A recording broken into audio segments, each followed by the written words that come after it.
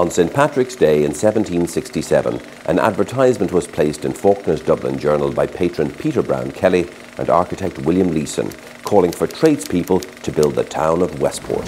To the public in general, this is to inform them that a new town is immediately to be built near the old town of Westport in the county of Mayo.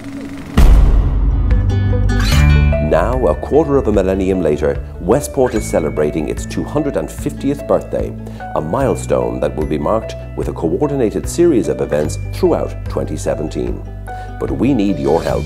The celebrations will begin on St. Patrick's weekend when Westport will come alive with amazing street performers, a special 250 parade, live music and dancing around the town, a spectacular fireworks show, and so much more. And this is just the beginning. Be proud to be a part of Westport 250. Help make it happen. Donate to our FundIt campaign today.